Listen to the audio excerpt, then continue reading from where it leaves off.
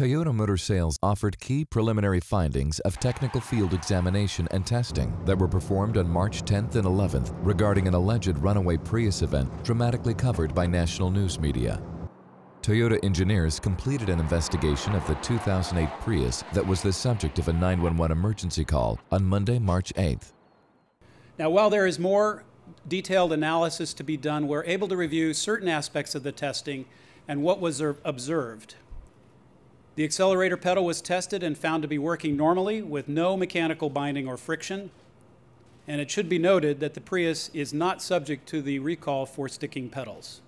The front brakes showed severe wear and damage from overheating. The rear brakes and parking brake were functional. The self-diagnostic system did show evidence of numerous rapidly repeated on and off applications of the accelerator and the brake pedal.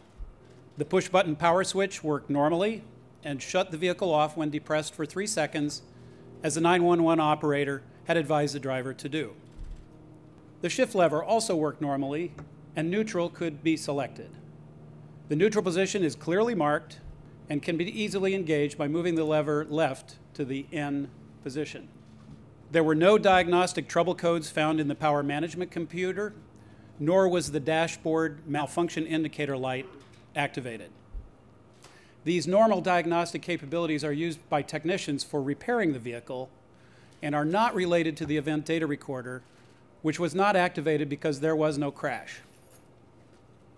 It is important to note that the Prius has a self-protective function that is a form of brake override. If moderate brake force is applied at the same time that the accelerator pedal is depressed more than halfway, the hybrid system's engine is cut off.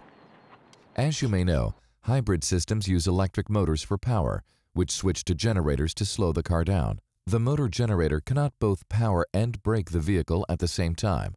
When there are conflicting commands to the accelerator and brake, the system shuts off engine power to prevent damage, leaving the conventional brakes available to stop the car.